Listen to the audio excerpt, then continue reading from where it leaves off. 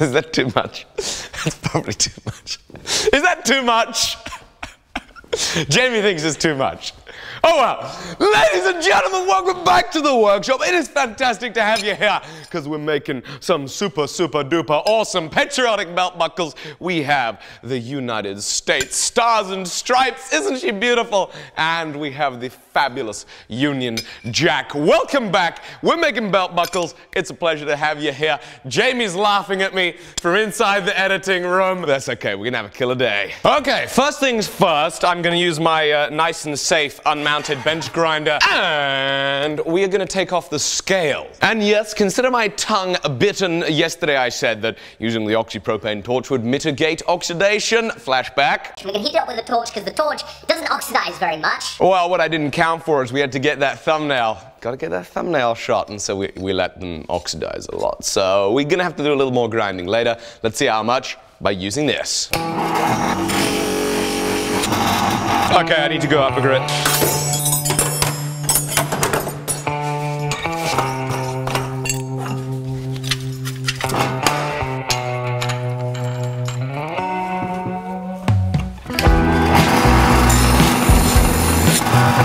This is the Union Jack. It's cleaning up a little better than the US flag on here. Still gotta grind it though. Okay, back to the grinding room.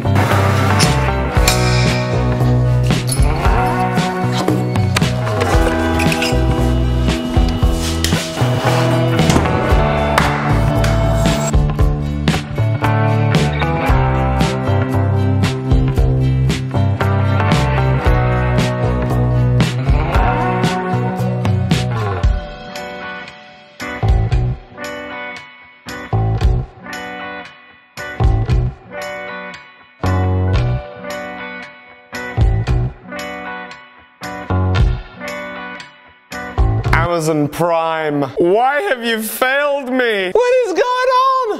Why are these things arriving tomorrow? They're meant to arrive yesterday. Time to drag out the old wel uh, blah, the old welder. yeah.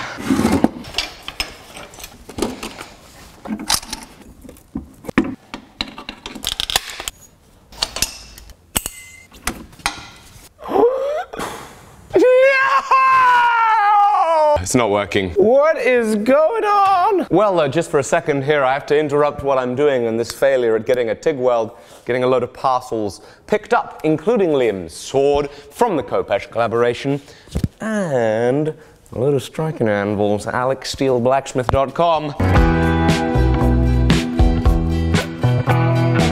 Well, you haven't seen me in a little while. Well, really, it was just one scene to the next. But the orders that needed to go out have gone out, and my neighbor, my neighbor has come to the rescue. I have, I have a new nozzle for my other TIG welder. So I set up the old TIG welder again uh, that then didn't work for nothing, and I now have a nozzle. Thank you, oh my goodness. Thank you, Steve. We can now TIG weld our belt buckles. Before I get all excited, I should probably just check and make sure. Yes! It fits! And now, welder, be gone! Whew! Right, let's, uh, let's try and learn how to do this.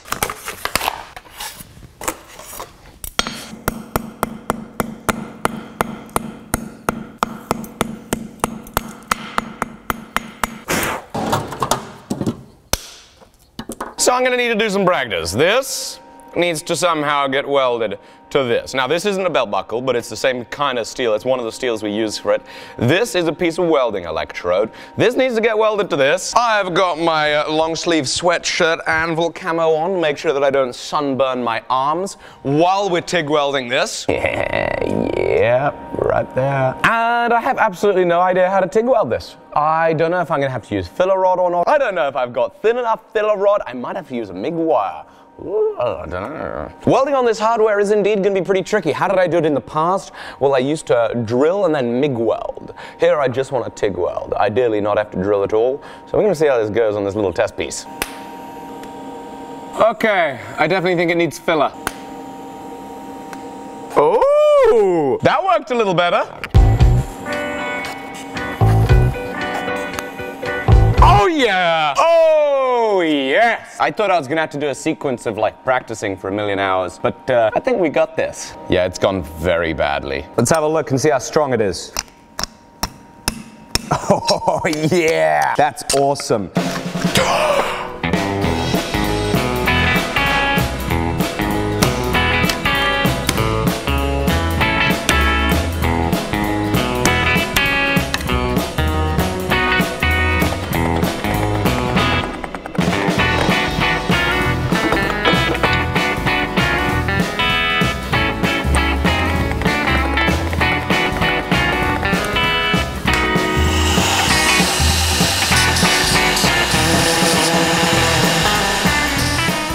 So, ladies and gentlemen, it is now time for us to weld on the hardware for these belt buckles. Of course, I'm going to be TIG welding them, I'm going to be taking my time, and since I have no clue what I'm doing, it's time for the time lapse.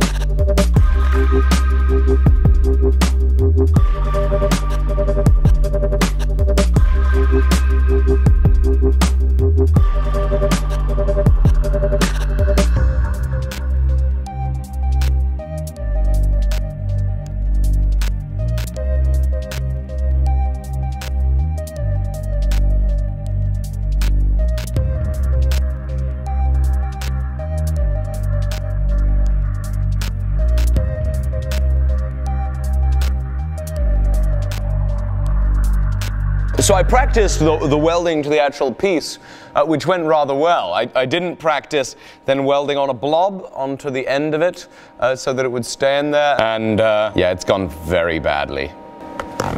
Okay, so I've put this stick on here and uh, I'm going to now try and weld that to it to extend it. Hopefully, learning a lot of things today.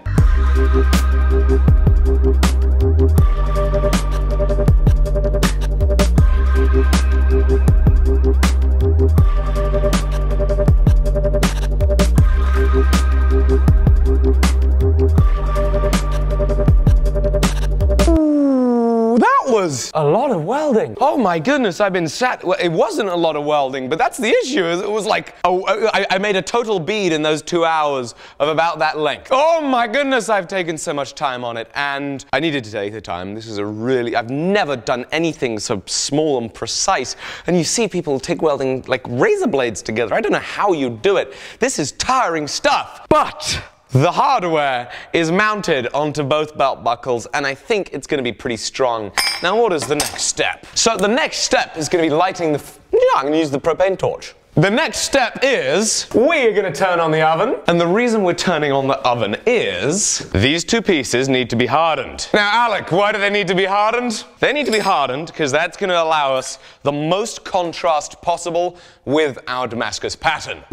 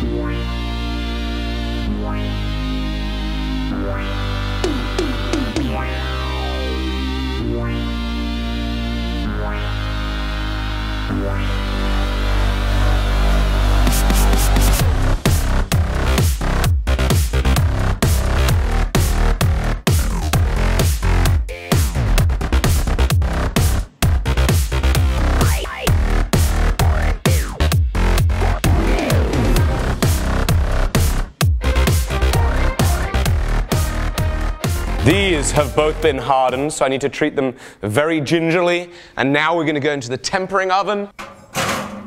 So they'll sit there and then we'll come back and finish them up. So that is gonna be it for today. Thank you so much for watching. I really hope you've enjoyed. I can't wait to see you tomorrow on the next episode when we finish these things off. I cannot wait to see these things etched. I can't wait to see you. Make sure you hit subscribe if you're new. We're making videos almost every single day. It's a massive amount of fun building things, being creative, and I hope you guys are going out to your own workshops, your own garages, your own kitchen, wherever it is that you build stuff and are creative and do the same. I'll see you tomorrow on the next episode. Bye bye.